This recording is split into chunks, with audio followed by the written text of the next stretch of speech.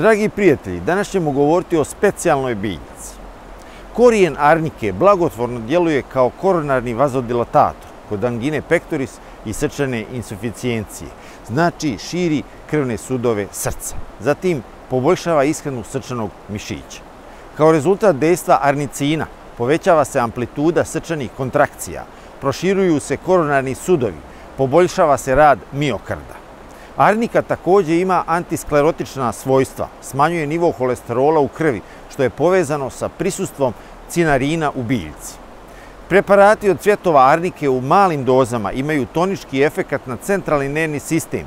U velikim dozama mogu imati sedativni antikonvulzivni efekat. Smanjuju refleksnu ekscitabilnost, odnosno podražljivost mozga i proširuju cerebralne krvne sudove, proširuju krvne sudove mozga.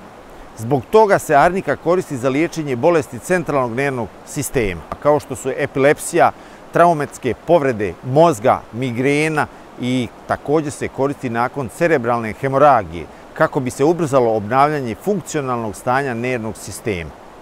U akušerskoj i ginekološkoj praksi tinktura cvjetova arnike preporučuje se kao hemostatsko sredstvo kod različitih bolesti, kao što su krvarenje iz materice, različite etiologije u postpartalnom periodu kod inflamatornih bolesti genitalnog trakta. Zatim se preporučuje kod mioma materice sa hemoragičnim sindromom, zatim kod slabe kontraktilnosti materice u postpartalnom periodu i kod obilnih menstruacija i krvarenja povezanih sa ginekološkim bolestima. Holeretički efekat arnike, povezan sa prisustvom smola i biljnih ulja, koristi se za liječenje gastrointestinalnih bolesti. U prvom redu to su peptični čir na želucu i 12-palačnom crijevu. Faradiol, koji sadrži arnika, djeluje lokalno nadražujuće, pospješuje resorpciju krvi kod lokalnog krvarenja, koristi se za spoljnu upotrebu kod modrica, hematoma, edema, povezanih s prenulima kostiju, kod pustulozne bolesti kože, kod trofičnih čireva, lakših opekotina, bolovima u mišićima i zglobovima i kod reumatskih problema. Zatim se koristi kod upala na mjestima ujeda insekata, kod apsesa i drugih problema. Zacijeljujuća i antiinflamatorna svojstva dijelimično se mogu objasniti kombinacijom elemenata u tragovima kao što su mangan i karoten. Dragi prijatelji, predstavljamo vam detoks program zdravog života. Obezbijedili smo vam sljedeće aktivnosti, predavanja, ljekarske preglede, radionice kuhanja i terapeutskih sokova, kao i antropometrijska mjerenja. Pogledajte naš sajt u opisu ovog videa ili se javite na telefon ispisan na ekranu.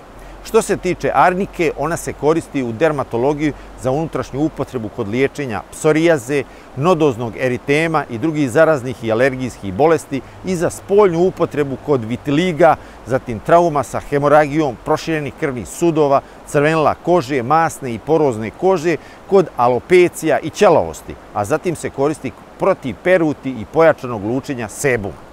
Također je veoma bitno da se koristi za posticanje rasta kosi.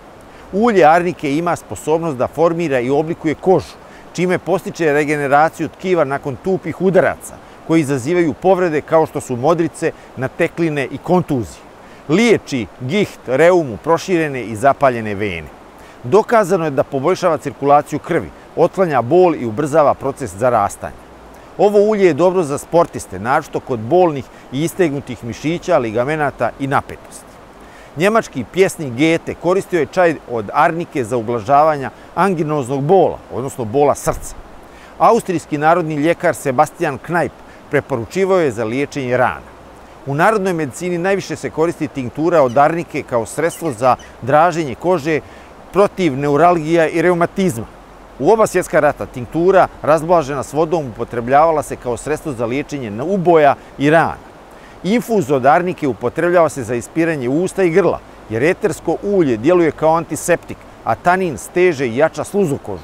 Koristi se i kao sredstvo za umirivanje nervnog sistema, snižavanje krvnog pritiska, za liječenje organa, za disanje i varenje.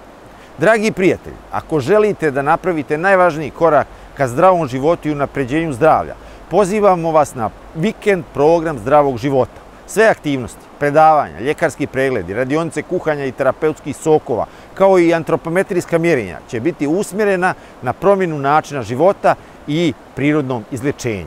Naši stručnjaci će vas edukovati da prirodnim mehanizmima otklonite hronične probleme kao što su srčane bolesti, metaboličke bolesti, diabetes, gojaznost, moždane poremećaje i autoimune bolesti.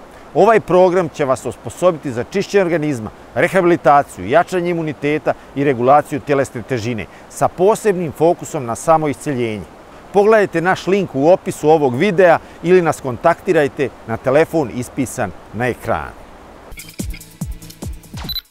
Ja sam Mirjana iz Rijeke, a inače živim i u Štokholmu i odlučila sam da dođem na ovaj, na ovaj program zdrave ishrane zato što sam se susrela sa doktorovim predavanjima i e, stekla sam tako povjerenje i željela sam isto da promijenim način ishrane uz njegovu pomoć naravno i zato sam se odlučila da dođem tu. A u, tome mi je pripomogla i prijateljica koja je također e, zainteresirana za ovakav način ishrane i e, poboljšanje zdravlja. A ujedno i zbog doktora u kojega imamo beskonačno povjerenje. Općenito mogu dati vrlo visoku ocjenu za ove radionice i ovaj program i predavanja. Vrlo mi je e, lijepo bilo šetati e, u ovoj prirodi, a bile su i vježbe sa voditeljicom, tako da su mi značile puno. Ne bi, e, ovaj program ne bi bio tako učinkovit da nije bilo i vježbi. Ovo je za mene jedan novi doživljaj, ali vrlo lijep doživljaj, tako da bi ga još jedan put ponovila. Mislim, ponovila bi još jedan put jednu drugu radionicu ili program sa istim predavačem i ne znam koji učesnici, ali došla bi još jedan put. Tako mi je bilo prijatno, prijatno da. Jako sam zadovoljna. Svi moji rezultati su se poboljšali ovaj program je dao rezultat, iako je prošlo vrlo kratko vrijeme. Mm.